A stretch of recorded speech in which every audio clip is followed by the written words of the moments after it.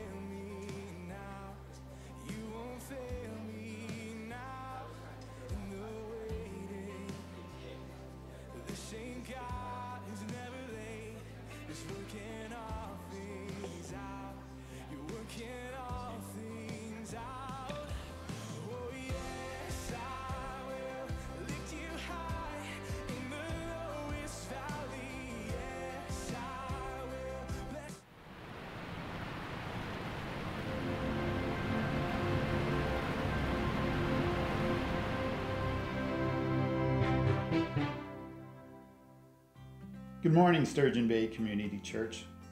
Welcome to our church family. Whether you're a member or have only been here a time or two, we are so glad you're here. If you're new here, we'd love to get to know you better. At the bottom of our bulletin, please fill out our connection card and drop it in our offering boxes on either side of the sanctuary.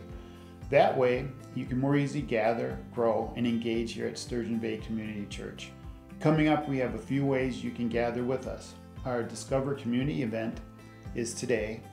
Discover Community is a gathering to learn more about us as a church, what we believe, and how we can get involved here in our community.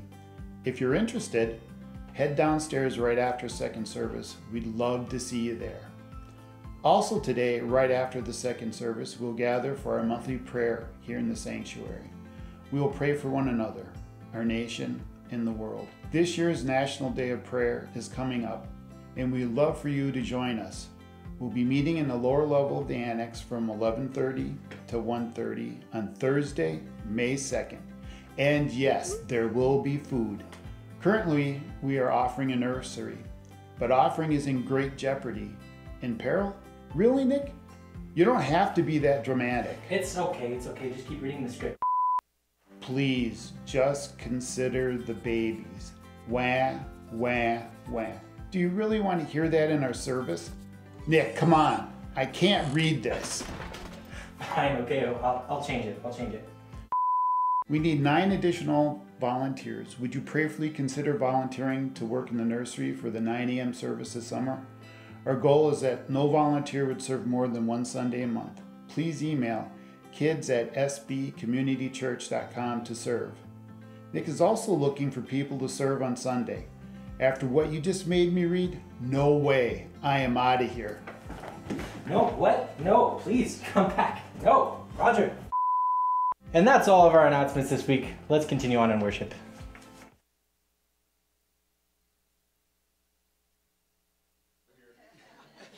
Good morning, church.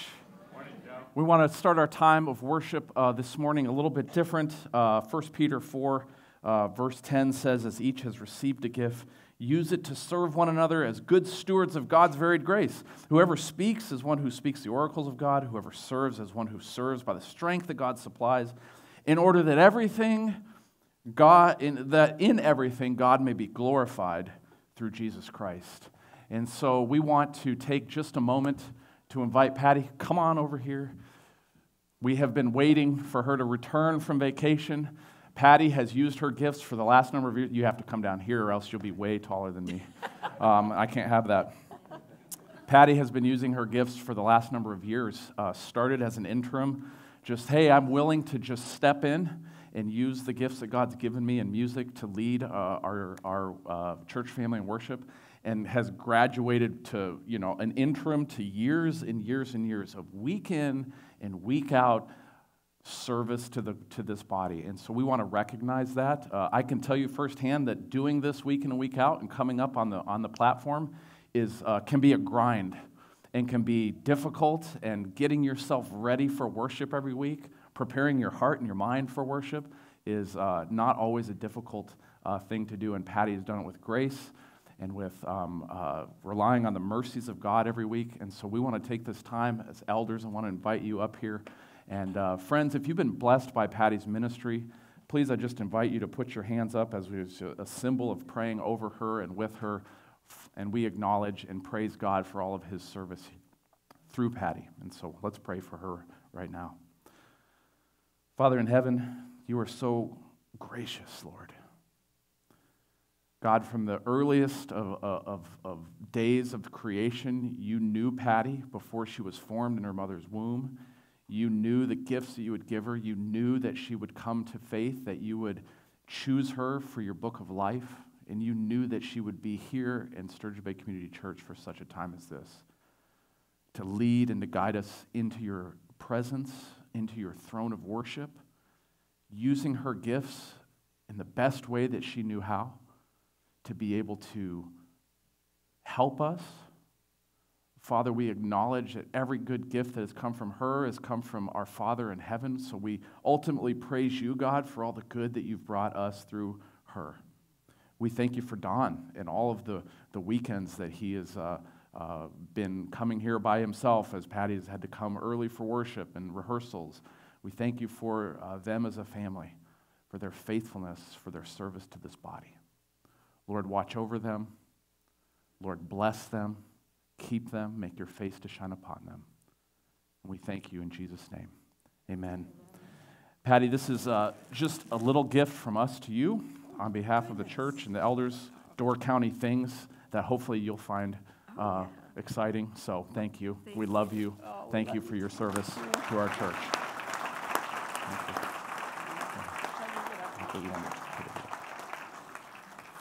Let's continue our worship now this morning. All right, Patty, now get up here. all right, you guys, uh, let's all stand and worship together.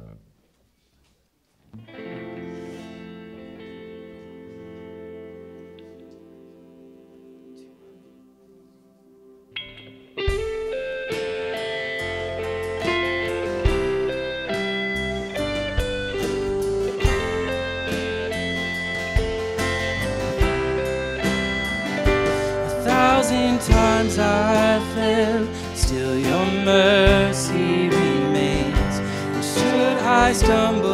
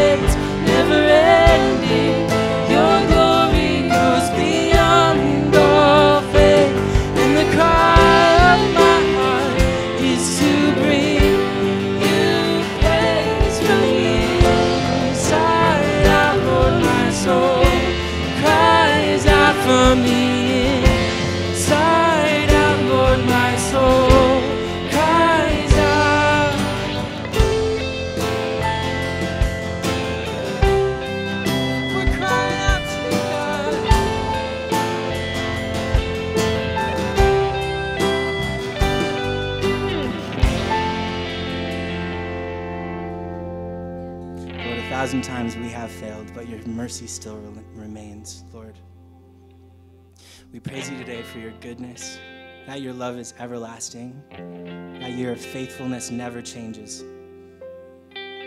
Lord, we want to surrender. We want to surrender all, everything that we have. Lord, we give it to you. Help us to lose our lives to you today, to give it all to you. So we sing, I surrender all.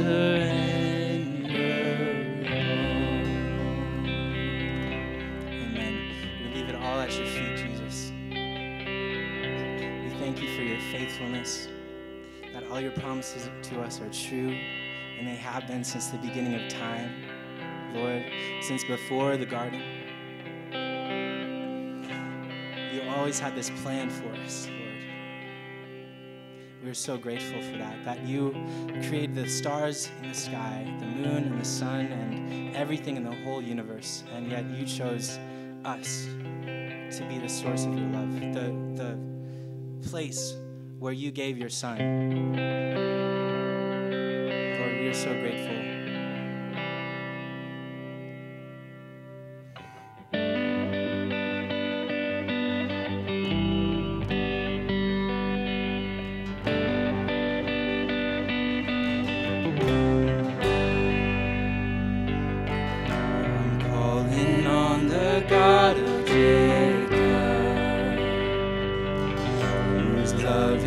Endures through generations.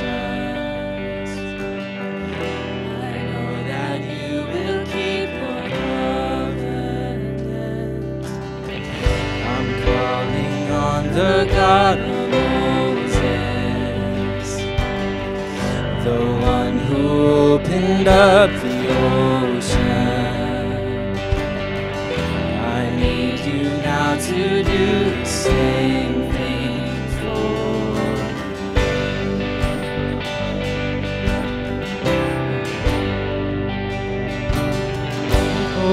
God, my God, I need you. Oh God, my God, I need you now. How I need you now. Oh rock, oh rock of ages, I'm standing on your faithfulness.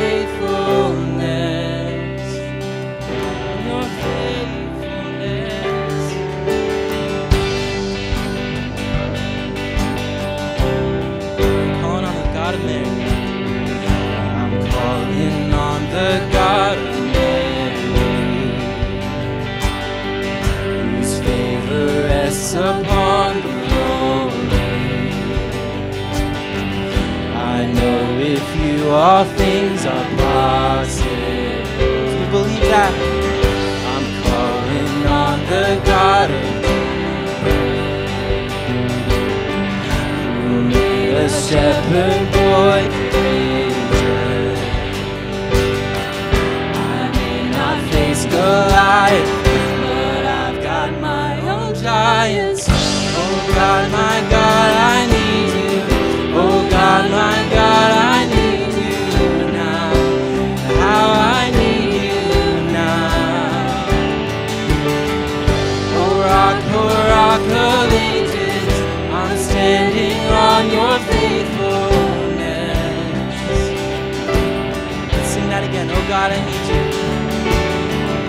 Oh God, my God, I need you. Oh God, my God, I need you now. How I need you now. Oh rock, oh rock of ages, I'm standing on your faithfulness.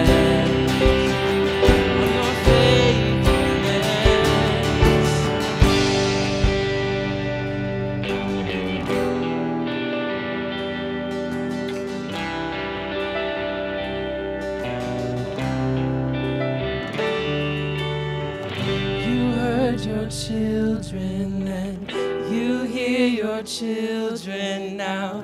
You are the same God, you are the same God. You answered prayers back then, and you will answer now. You are the same God,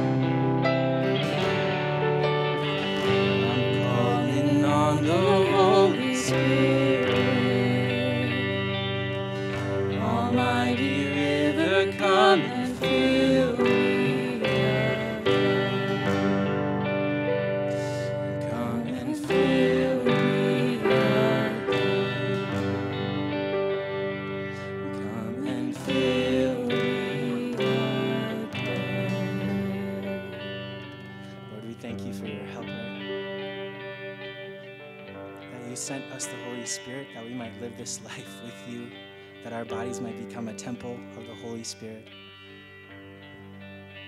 Lord, again, we thank you for your love, for your faithfulness throughout the ages. That we can stand on your word and we can see time and time again how you have been faithful to your people. And Lord, that is our confidence that you are faithful to us. For not anything that we have done, but how good you are. Lord, we praise you. All this I pray in Jesus' name. Amen. Thank you guys so much. You may be seated.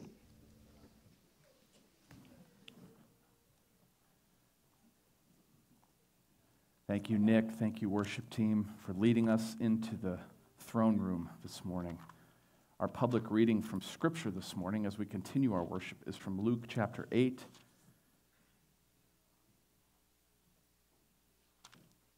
Beginning in verse 42. As Jesus went, the people pressed around him, and there was a woman who had had a discharge of blood for 12 years. And though she had spent all her living on physicians, she could not be healed by anyone. She came up behind him and touched the fringe of his garment, and immediately her discharge of blood ceased. And Jesus said, Who was it that touched me?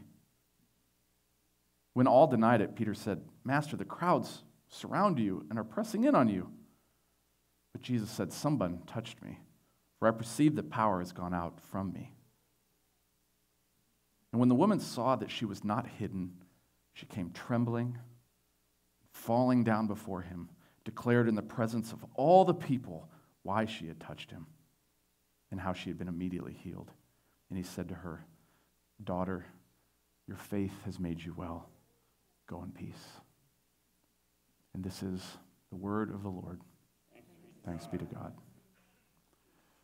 Kiddos, come on up here as we invite our children to come and worship downstairs. So grateful. As you heard in our announcement video, we are trying to get volunteers to make sure that our nursery is full for the summer. And I'm pleased to say, after the filming of our video, that we got all that we needed for the summer. So we praise God and celebrate uh, your responsiveness to our ask. Thank you for, thank you for uh, making it possible for that to continue through our summer months. And so we leave our children now and our teachers with the benediction.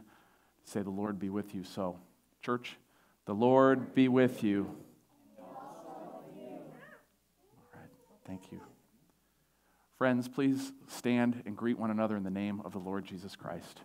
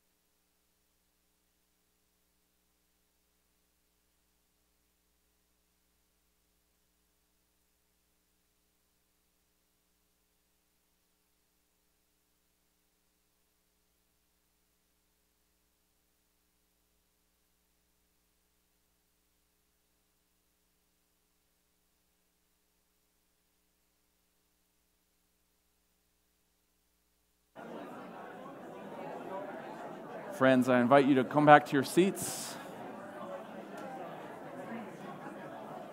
Wrap up those conversations. Come on back.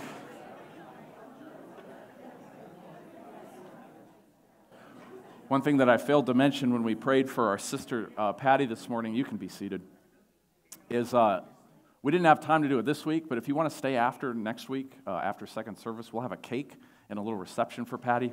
We just couldn't fit everything in with prayer and discover community after church. So uh, uh, if you'd like to come and honor uh, Patty and spend some time with her, stay after after second service next Sunday, and we'll have we'll have things for you that you shouldn't eat, but nevertheless we do. Would you join me uh, in a word of prayer before we open God's word together this morning? Father in heaven, we are privilege, Lord, uh, if we didn't gather for any other reason than to beseech you, Lord, to beseech our Father in heaven, to ask for the things that are on our hearts, to confess our sin before you, to acknowledge your greatness, to acknowledge that you are worthy of all of our praise, then that would be time well spent. And so, Father, we lift up our world to you.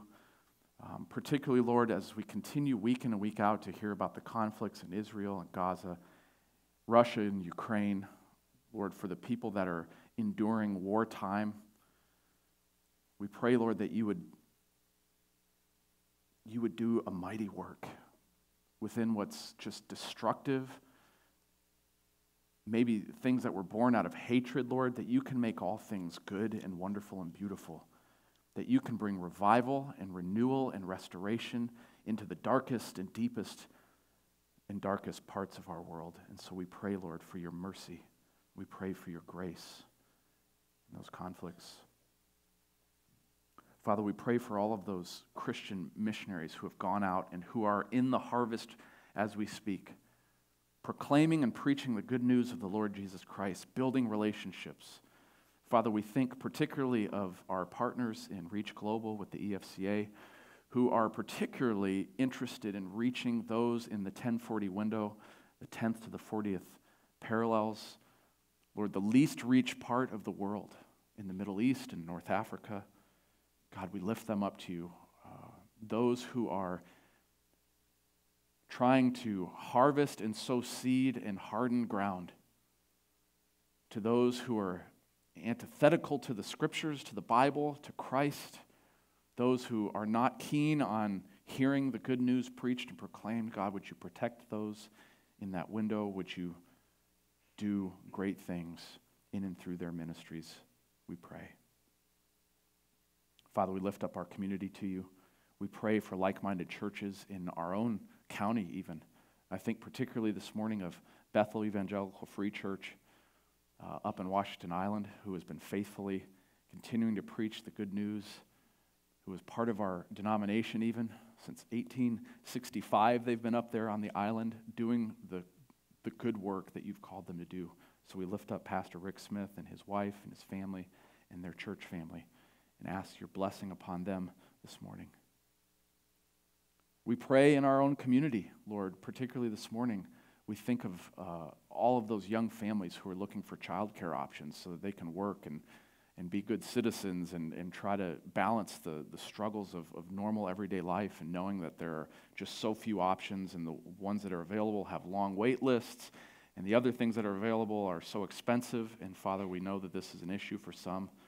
And so we pray that you would make a way and that those volunteers and workers who step up would be uh, committed to the gospel, that they would be Christians, that they would have a voice into that particular part of our community, and that we begin to pour into this next generation even through those efforts. Father, we lift up our church community. We thank you for Sturgeon Bay Community Church. We lift up those who are uh, in pain and those who are suffering. Think of our sister Lois Ribbons. And uh, we thank you for a successful surgery this last week. We pray for a quick recovery and healing upon her wrist.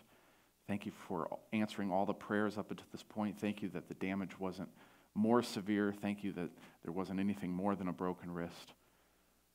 But God, we, we do lift her up to you. We ask your grace and your mercy upon her and Dave as they have just been faithful servants in this church body. And finally, Lord, this last week, as we had a group go down to the EFCA conference, a leadership conference in Madison, we pray for great fruit to be born out of that, especially as it pertains to discipleship. Uh, give us great insights and unity of spirit around how we might better disciple the flock here, uh, might reach out to others with the gospel, that we might be faithful to the commission that you've sent us to do, to go and make disciples of all nations, baptizing them in the name of the Father and the Son and the Holy Spirit. And so, Lord, we thank you for this time of prayer. We ask that you now transform our minds and our hearts. Take away every distraction that would keep us from the knowledge of God. Stir in our hearts right now an affection for you. Open your word. Help us to hear your Spirit's voice, we pray in Jesus' name. Amen. When Christina and the family and I came back from the mission field, there was a season of uh, struggle trying to figure out what was the next step for us in ministry. And uh, I had a, a, a, job come along right away. It was about a three year period. It was a contract job, so we knew it was going to come to an end. And about a year, about a year away from the ending of this job, I started wondering, Lord, what is the next step? And I had no idea what was going to happen. And so I started playing the, the what if game. I don't know if you've ever played the what if game. What if I do this? What if I do this? Lord, what about this? Lord, how about this? And when I say what about this and that, I truly mean I thought maybe I'll open a jazz club. I was a former saxophonist in college. I applied for Chick fil A to be a Chick fil A operator. Uh, I, what else did I was thinking? Well, I'll go back and be a teacher. Lord, what about this? Lord, what about that? And probably every two or three weeks, or maybe every month, I came to Christina with a new idea. Hey, babe, what about this? To which, after a while, it was just like, would you please stop telling me about all these new ideas? And it wasn't until, I mean, probably a year, year and a half went by of just striving and struggling and trying to discern God's will and asking people for help and what do I do? What do I do? What do I do? And it wasn't until this one evening where Christina sat down and we were watching uh, The Case for Christ, the story of Lee Strobel.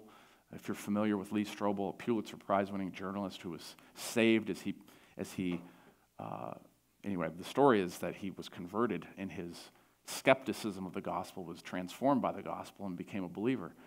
And I don't watch these movies too often, but we just happened to be watching this movie. And it was in just uh, the unlikeliest of times, the unlikeliest of moments, where I finished the movie, went into the bathroom for a minute, and God was just crystal clear in saying, Joe, you love the church. You love God's people. What are you doing? Why are you kicking at the goads? Go be a pastor. And just like that, as clear as day, I thought, that's it. I didn't find clarity. I didn't find answers in the din, in the noise. The answers didn't come with all of my pro con lists, my analysis of all the options. You've heard of the paralysis of analysis. It didn't come in the counsel of all of my friends. The answers came when I stopped striving for answers and I let God speak.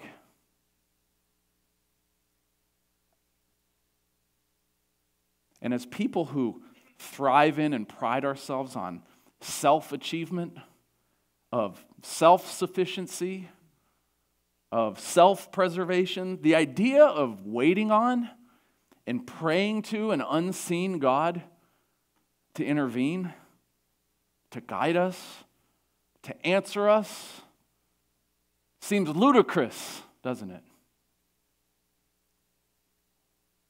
It seems like foolishness, like a waste of time. We really believe we can go it alone. It's built into our culture.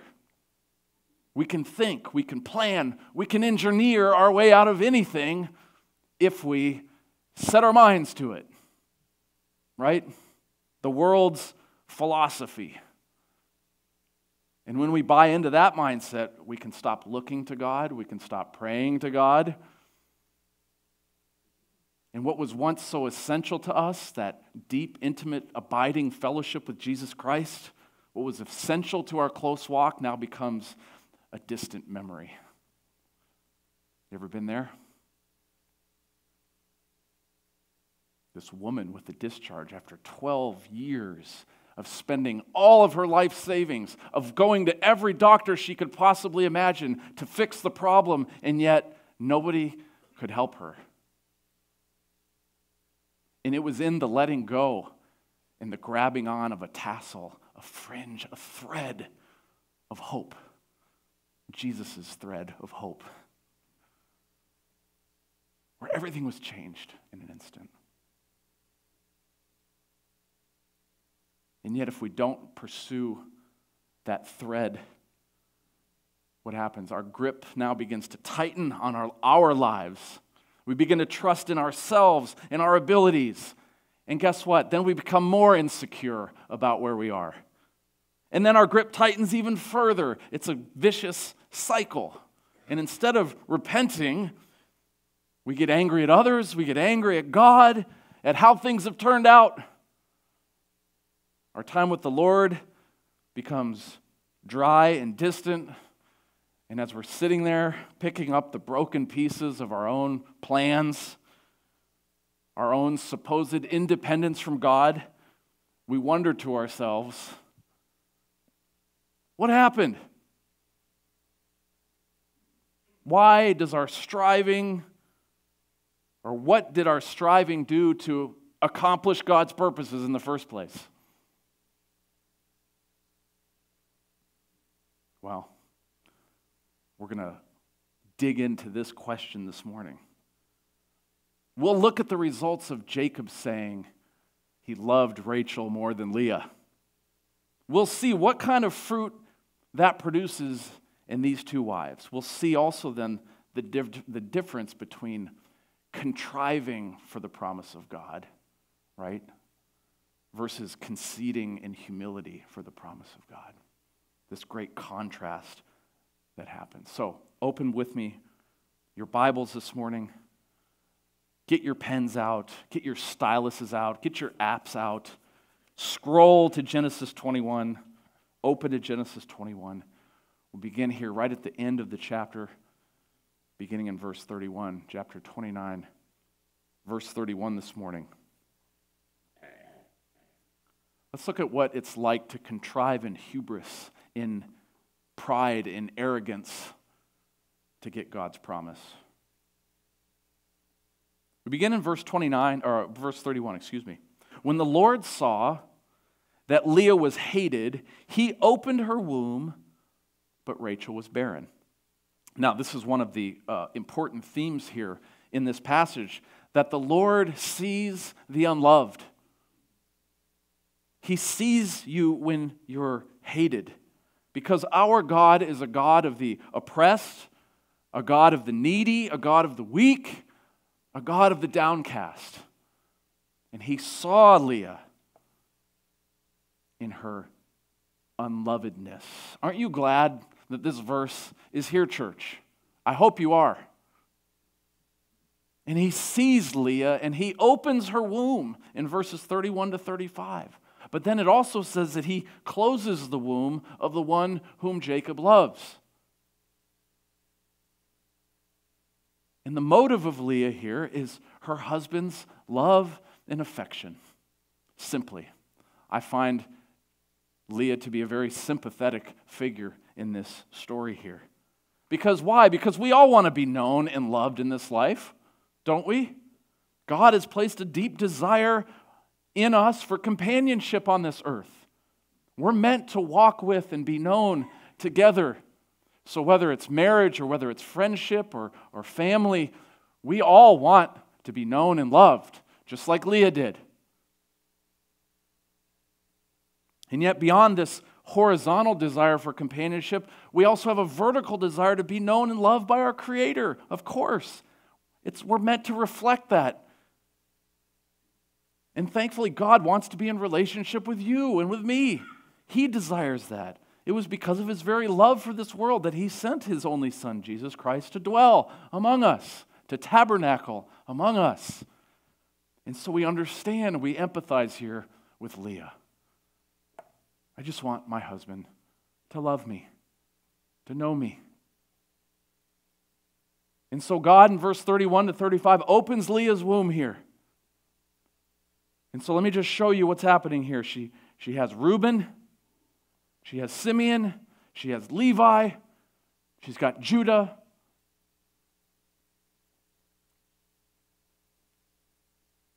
And she acknowledges here that the Lord sees and hears her. Because why? Because she desires the love of her husband, the motive. I have Reuben. The Lord sees me. Now my husband will love me, she says. And then she has Simeon because she says, I want my husband to love me, not hate me. So, Lord, hear me. And she has Simeon. And then, thirdly, she has Levi, another son. Why? Because she says, I want my husband to be attached to me. Ironic, isn't it? Because Levi is the one tribe, you know, in, in, in the nation of Israel that's not attached to anyone except who? The Lord. And then ultimately, this leads to finally the fourth son, Judah, whereby Leah now focuses solely, it's no longer about her husband the motive becomes I will praise and worship God Himself. These, these verses are such a beautiful picture of the transformation and sanctification that can happen in our lives when we submit our own desires, our own motivations to God. That our ultimate fulfillment needs to be and must be in God and God alone. And yet, friends, Men, husbands, let's not underestimate either the importance of a husband's love.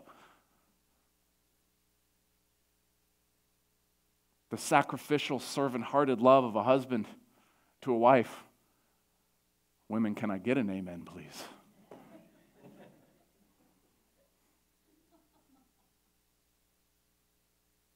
So we see this beautiful transformation that happens in, in Leah's own heart. And then it says she stopped or she ceased bearing children. Keep a finger there, keep a note there. We're going to return to that idea in a second. Now in chapter 30, we turn our attention to Rachel, the one whom Jacob loves, the one whom he's chosen over uh, his, uh, the older daughter. And the key to the passage again here is in this first verse when Rachel saw that she, meaning Leah, bore Jacob, or when she herself bore Jacob no children, she envied her sister. She said to Jacob, Give me children, or I shall die. Notice the contrast here between verse 31, when the Lord saw, and right here in verse 1, when Rachel saw. I see what you did, God. I'm calling. Now I'll, I'll, I'll do my part here to figure this out. She seems to be taking matters into her own hands. And as opposed to Leah, whose motive is now the love of Jacob, Rachel desperately desires children. This is her motivation. And friends, we can understand this is a real desire. I'm not unsympathetic with this, even. How many in our congregation have dealt with the, the uh, disappointment and the discouragement of infertility and wondering, God, why won't you give us children? What's wrong with me? We can understand, at least in some respect, where Rachel's coming from. And the envy and the jealousy that comes out of that. We can understand that. And yet to hear Rachel yell out, Give me children, Jacob, or I'll die. We can't help but hear Esau speaking back a couple chapters ago to Jacob himself Give me some stew, or I'll die. She sees what's happening here. She's responding in anger, she's responding in emotion. Instead of turning to God, she turns to her husband. And Jacob rightly in verse 2 rebukes her Am I in the place of God? I don't create conception, I don't create life. You're barking up the wrong tree here. You're asking the wrong person. And she is. Because God is the one who opens the womb. Chapter 29, verse 31. God saw and opened the womb. And God is also the one who withholds the fruit of the womb. And we have to wonder to ourselves Rachel comes from a long line now of matriarchs who have struggled with infertility. Sarah for years and years before her. Rebecca for at least 20 years before her. Her great grandmother, her, or her grandmother, and her grandmother both struggled with this same thing. And we think to ourselves, God was faithful then, Rachel. God will be faithful to you. But no, she's pushing ahead on her own. Envy drives her now to use a surrogate, right? To use her, her maid uh, to carry or to get children. And we think then of, of Sarah doing the same thing early on in this story with Abraham's servant Hagar, falling into the same sorts of sin here. Why? Because she's coveting, she's envious. And can't this be true of any of us? past wanting kids, right? Coveting, the sin of envy, the sin of wanting something that doesn't belong to you, of deeply desiring something that somebody else has that you don't have. Oh, I wish I had that piece of land. Oh, wouldn't it be nice to be on the lake? Oh, wouldn't it be nice to have a boat like that? Oh, I just want to have a big business so I can have the things and the toys. Oh, wouldn't it be great to have five, six, seven children like they have? We all have thought those thoughts. Rachel thinks to herself, well, God might be sovereign, but I'm going to do whatever it takes because I'm jealous. One commentator notes that Rachel is the perfect match for Jacob. He actually calls her Jacoba, the female version of Jacob, the heel grabber. And so, what happens in verses 1 through 8 here is she now, through Bilhah, her servant, has two kids Dan, meaning the Lord judged me, the Lord vindicated me. Why? Because I wanted to have a child. And then she has Naphtali, and with mighty wrestlings, I have wrestled with my sister, it says. Or another translation is, because I've wrestled with God, now I have, I've wrestled a son from my sister. Foreshadowing this wrestling that is about to occur here in a couple chapters between Jacob and God Himself. I want to prevail over my sister in this childbearing race. via envy. And so now, Leah responding to Rachel. Now it's just, do you see the, the, devolu- the devolution, the devolution of what's about to happen? Leah now seeing the results of Rachel's ruse, now she responds in kind. Oh, you're going to take your servant? Well, I'm going to take my servant. And so, in this game of, of one upmanship, in verses 9 through 13, now, Leah who has stopped conceiving herself for some reason. Now she uses her maid. And now she has two more sons. She has Gad, meaning good fortune, because she says, Well, I'm luckier now than even Rachel was. Rachel used a servant, I can use a servant too. Two can play at this game. And then she has Asher, meaning happiness. That now others will call me happy, others will call me blessed. And so, in some, we see in this scene here two wives driven by neglect and favoritism, Leah, driven by envy and anger, Rachel, and they're striving in their own strength to lay hold of the promise of God, this covenant that I will make your offspring as, as the sand of the seashore, and through you I will bless all of the nations. They say, We got this.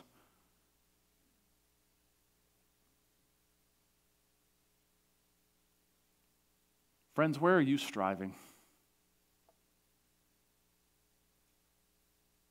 Where have you read God's promise and went, Yeah, thanks. I got this.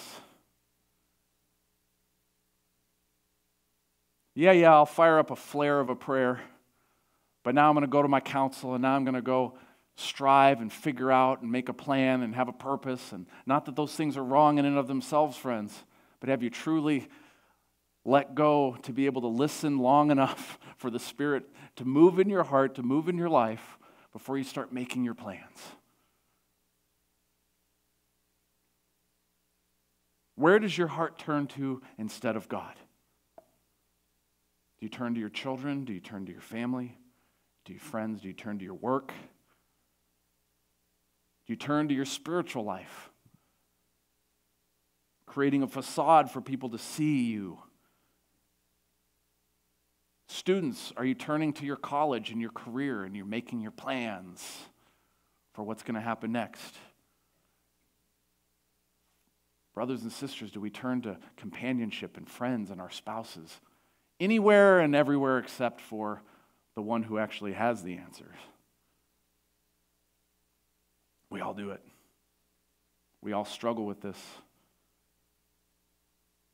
Well, friends, hubris, pride, arrogance, and trying to achieve without God is the very sin of Satan himself. I will raise my throne up against, over against. And that's what squarely places us on the road, on the path of destruction, of foolishness. So, friends, ask God today where, where am I doing this, Lord, in my life? Why have I stopped praying? In which areas of my life have I just given up hope? Why, God do you seem so distant? And ask yourselves, what has been the result of my striving? What good has it done? Where has it gotten you? Who by worrying can add a single hour to his life?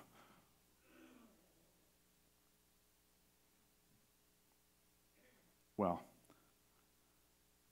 as you contemplate this, think about those questions. We notice here in this story, starting in verse 14, that the story slows down now on purpose. It's not just all of these kids being born in rapid fire succession. And this is drawing our attention here into this scene in verses 14 to 21. And we're focusing now on Rachel and Leah, who now begin bartering for Jacob's services, so to speak. The struggle for the fruit of the womb devolves now into a business transaction with the plant. This is how far we've come. In the ancient Near East, they believed that mandrakes here in this story are, were an aphrodisiac. Also, if you take too much of this, it's a hallucinogen. It makes you kind of go, woo. And so Rachel now tr- trades Leah or trades Jacob for some mandrakes. To which in verse 15, Leah responds now listen, is it a small matter that you have taken away my husband? Would you take away my son's mandrakes also? Now we think about this. I've always thought this is a very odd response to this question. But listen, is it a small matter that you have taken away my husband? Now go back to 29, verse 35. And do we wonder anymore why Leah stopped bearing children? You have taken away my husband. Rachel has literally forbidden Jacob to be with her. It's the height of Rachel's hubris. Oh, you're going to give him kids? Well, then you can't be with her anymore. If you continue give, giving Jacob sons, I'll just take them away. And so Leah, now driven to desperate measures, hires Jacob out, calling him in verse 18 her wages. Her wages. Which is right, you, we should be thinking, when was the last time we've heard this? Well, this is Laban now hiring Jacob earlier on in the story, right? What, if you'll serve me, what will your wages be? And so now we see Laban's daughters, right? Do you see how this stuff kind of ekes in to our families? His daughters are doing deals. And so now, in addition to neglect, in addition to uh, envy, in addition to one upsmanship, now we add bribery, we add extortion, and using intimacy as a commodity. What a family! Some of you are like, that kind of reminds me of my family right? Families can be really dysfunctional. This is the family of God. This is the story through which all of the nations, the tribes are born, right here. Pretty ugly, isn't it? And now look in verses 17 to 21. Leah hires uh, Jacob with mandrakes, and she gets Issachar. These are my wages, she says. Then she gets Zebulun meaning God has honored me, God has endowed me with another son. Now my husband will honor me. She still wants her husband's love. And then she has Dinah, whom we don't get any description about. Don't know why. Now, the key to this entire text is in verse 15. So pay attention. Go back to verse 15. Rachel tells Leah, I'm going to ask you for the word, so look it up here. He can lie with you what? He can lie with you tonight. This was the deal. Set of mandrakes for one night with Jacob. And yet, what do we see in the story? Leah not only conceives one son, now what happens? She conceives a second son, and then she conceives Dinah.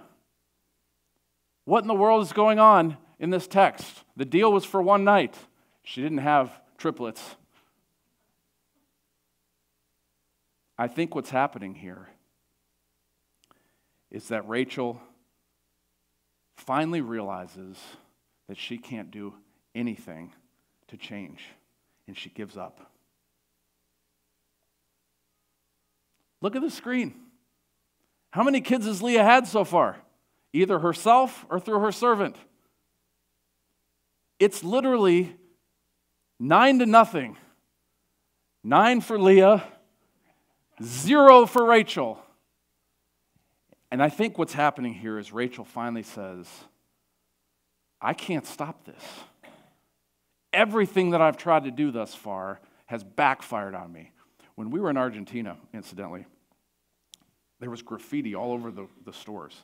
And the graffiti said almost all the time, seven zip, seven zero, seven zero, seven zero. Thinking, what is going on here? So finally I asked one of the locals, what is, what is seven zero?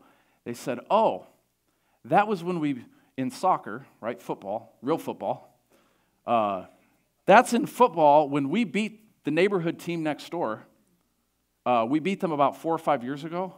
We just wiped the floor with them. It was a drubbing, it was a humiliation.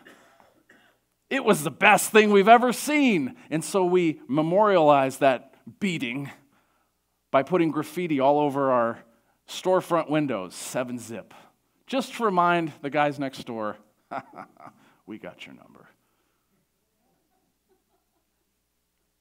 Rachel's looking up at the scorecard going, I got, I got nothing here. I got zero here. She can't stop God's sovereign promise and plan. Because why? Because verse 29, verse 31, when God saw that Leah was hated, he opened her womb. Chapter 30, verse 17, God listened to Leah. And friends, I think that it's this at this point in the text, her striving finally ceases.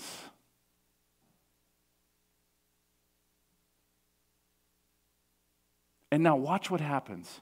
Verse 22. Pay attention to this.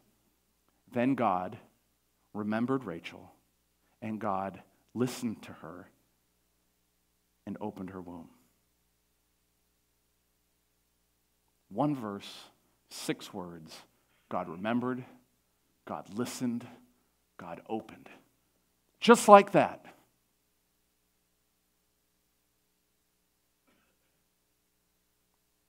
And so now she has Joseph. God has taken away my reproach. Just like that.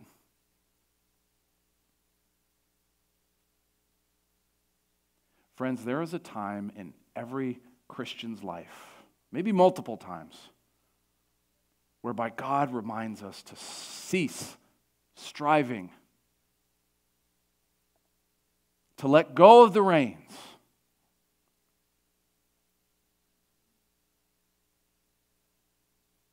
If you're a child of God, stop striving to earn and curry favor with your Father. He already loves you perfectly in Jesus Christ. Grasp on to the great gospel truth that you're already perfectly known, you're already perfectly loved. You're already perfectly and completely declared to be a child of God, adopted into his family. Why are you striving so hard?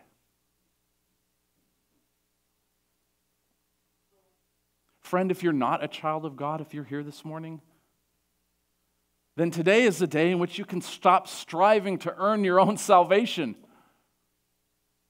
As if you could ever accomplish that on your own to begin with. You could spend an eternity of lifetimes trying to get God to notice you and love you and say, Hey, have I done enough good yet? To which He will say for eternity, No. You can never do that. It's only because of the free gift of my Son, the Lord Jesus Christ. I've already given you everything you need. You need but accept it. Let go. Let go, friend. This is the grace of God offered freely to you. Won't you accept it?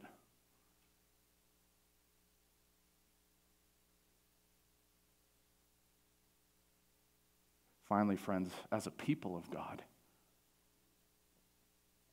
let's remember here that the nation of Israel these children in this story were born out of envy, strife, anger, wrestling, extortion, and every pure, impure motive you can possibly imagine. Yet, is God's promise thwarted at all? The answer is no. Is God shaken or rattled because of what's happening? Can God make something altogether beautiful and lovely and new and pleasing in this total mess of sin that we make our lives sometimes? He did it in Jacob's family. He can do it in this family. He's been doing it, friends, since the beginning of all creation, making beautiful things out of the rubble. God can do the same with you this morning.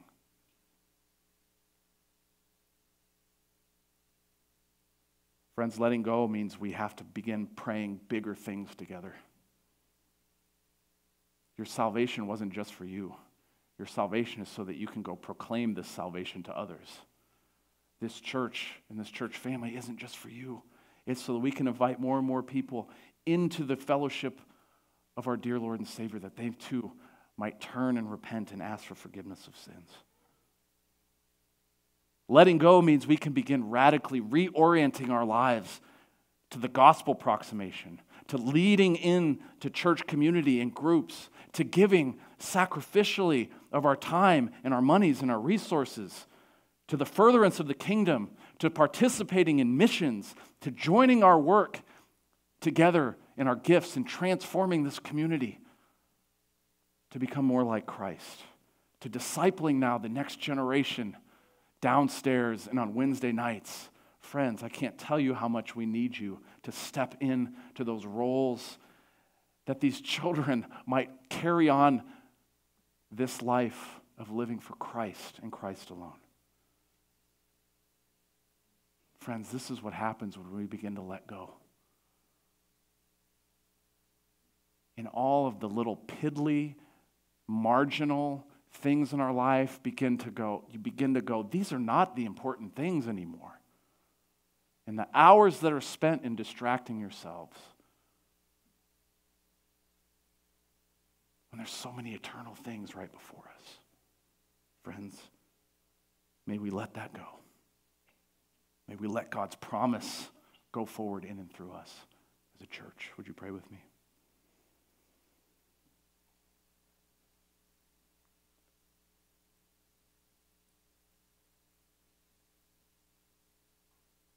God, in a moment, in a twinkling of an eye, when Rachel loosened her grip,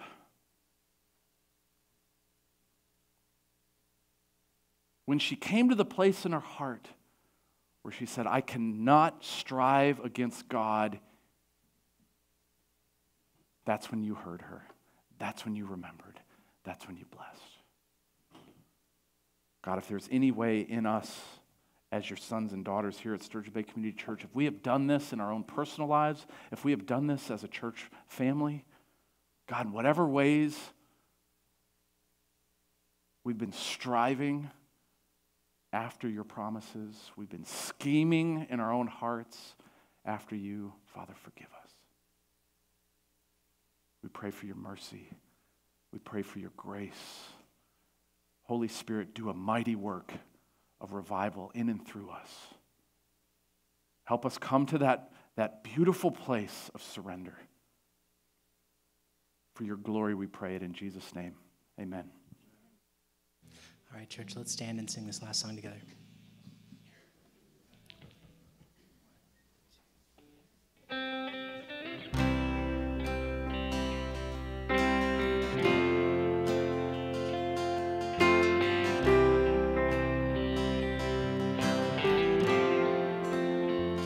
What gift of grace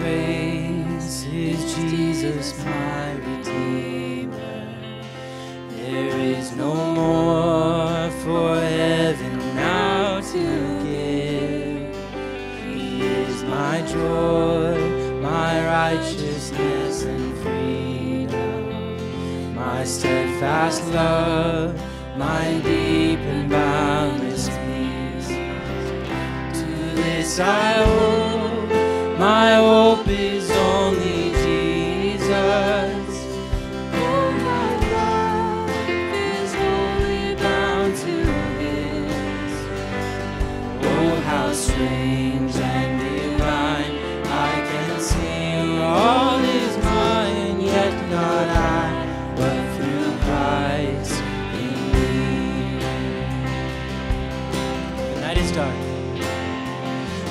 night is dark, but I am not forsaken.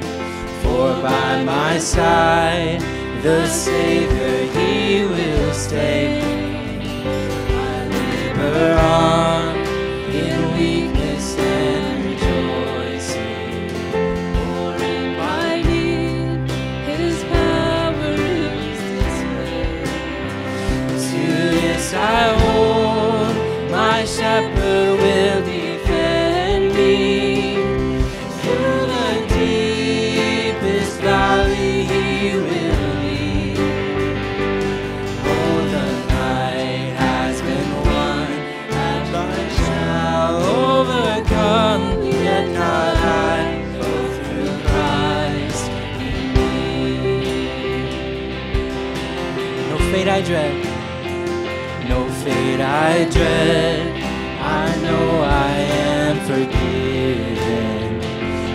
future sure, the price it has been paid.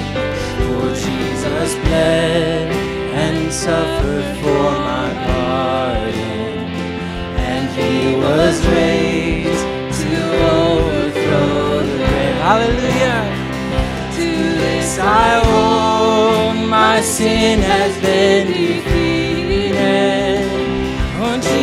Now and ever is my plea.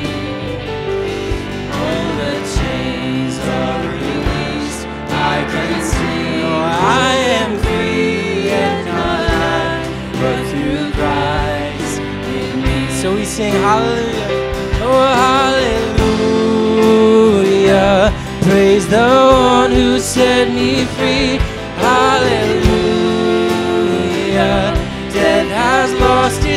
On me. You have broken every chain. There's salvation in your name. Jesus Christ, my living hope. Then came the morning that sealed the promise. Your buried body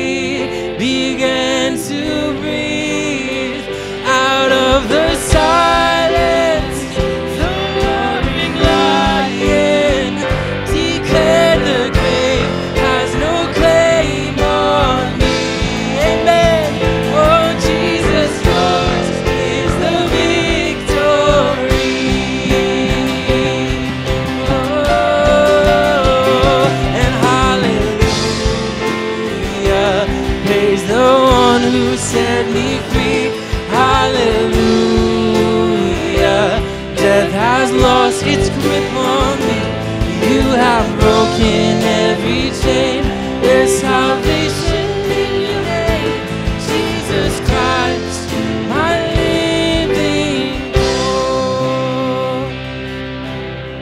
every breath,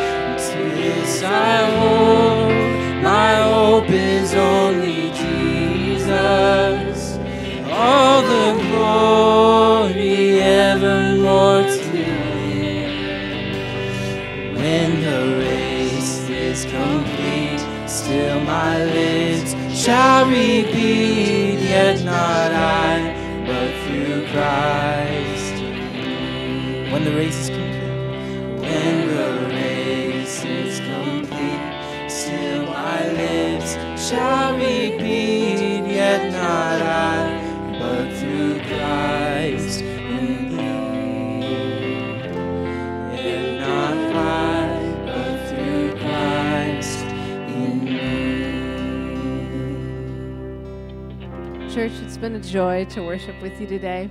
Go in peace. You are dismissed.